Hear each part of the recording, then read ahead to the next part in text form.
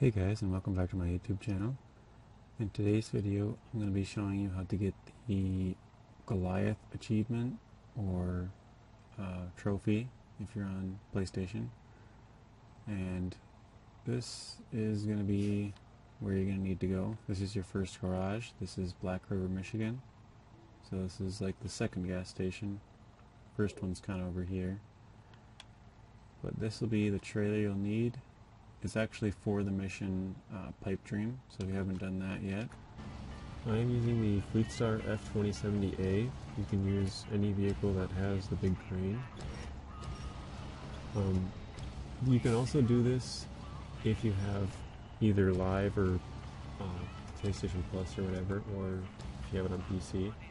If you join a co-op game with someone who's in Michigan and go here and they haven't done it, you can lift theirs if you've already done this mission but basically you want the end of the crane as close as you can um, to the top of the tank.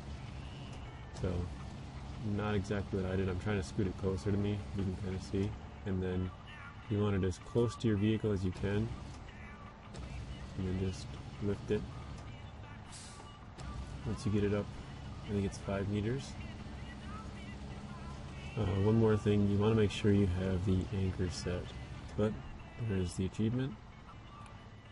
As you can see, the anchors are out. Thank you guys for watching.